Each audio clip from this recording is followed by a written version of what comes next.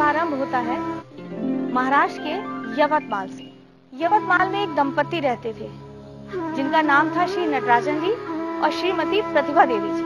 उनके तीन संतानें थी, दो पुत्री एवं एक पुत्र। पुत्र का नाम सुनील कुमार था।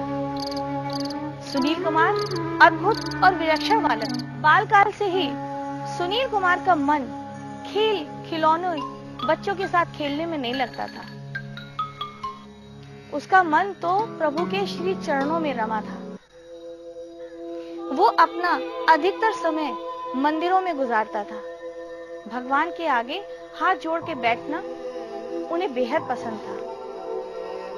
वो मन ही मन और कभी कभी तो अपनी तोतली भाषा में भी प्रभु से खूब बातें किया करते थे। बालक की इस विलक्षणता को देखकर माता पिता का अचंभित होना बड़ा स्वाभाविक था।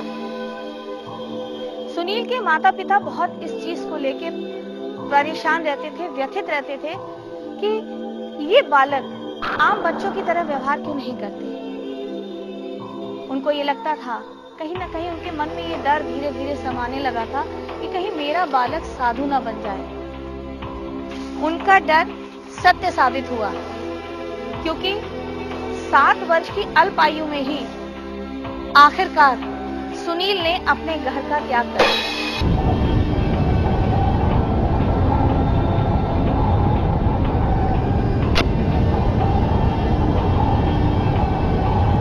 बालक के लिए ये निर्णय आसान नहीं था। ये निर्णय बालक के लिए बहुत कठिन साबित हुआ। कभी मंदिर, कभी जंगल, कभी वन और कभी कंदराओं में। ये बालक भटकता रहा। लेकिन शायद प्रभु को कुछ और ही मंजूर था। इसलिए उन्होंने कृपा की और एक दिन नदी तट पर इस बालक की भेंट होती है एक साधु से। हरिओम तत्सत हरि ओम तत्सत हरि ओम तत्सत ये साधु कोई और नहीं बल्कि महान संत स्वामी समीर दास जी महाराज। आयुष्मान इस बालक के चेहरे पर एक अलौकिक तेज को देखकर समीर दास जी इससे बहुत प्रभावित हुए। उस बालक की मीठी वाणी ने समीर दास जी का मन मोह लिया। उन्होंने उस बालक को अपनी शरण में ले लिया और अपना शिष्य बना लिया।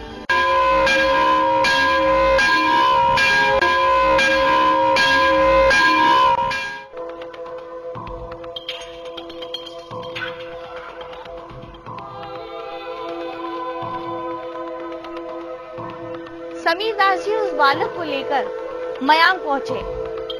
और उसके बाद में उन्होंने कामाख्या देवी मंदिर में एक लंबे समय उस बालक से जब तप, ध्यान, योग और तंत्र की अद्भुत साधना कराई।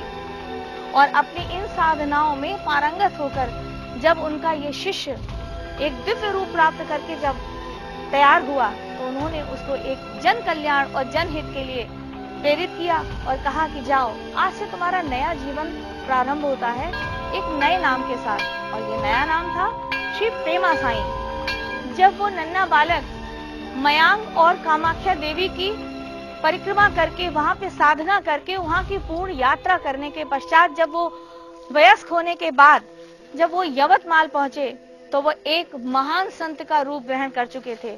और उस महान संत का नाम था पूज्य संत श्री प्रेमा साई जी महाराज। श्री हरि हर गुरुदेव नमामि। आनन्दरूप सकल गुरु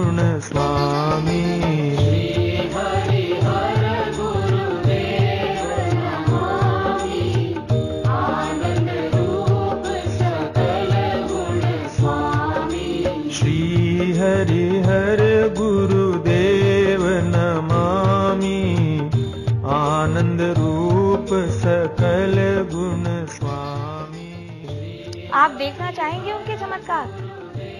आइए, हम आपको लेके चलते हैं सीधे सीधे संत श्री पेमा साईं जी महाराज के दरबार में।